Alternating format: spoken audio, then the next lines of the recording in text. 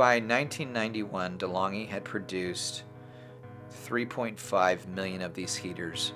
As a result of the recall that they were forced into by the United States Consumer Product Safety Commission, they recalled approximately 250,000 of the heaters. That left 93% of all the heaters produced in the recall for a national fire hazard still in people's homes across the country. The way these heaters catch themselves on fire is an internal failure and you can't see it.